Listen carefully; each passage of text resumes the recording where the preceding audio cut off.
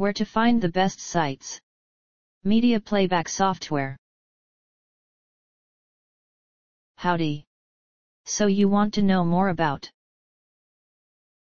how to hook up FrostWire to iTunes, these selected resources on the web might help you.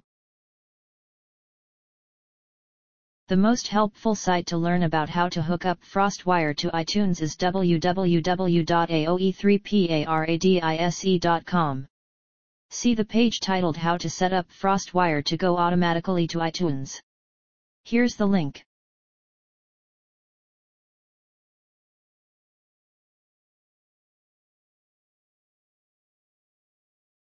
Try also our second ranked site answers.yahoo.com especially the page Connect FrostWire to iTunes. Yahoo Answers. Here's the link.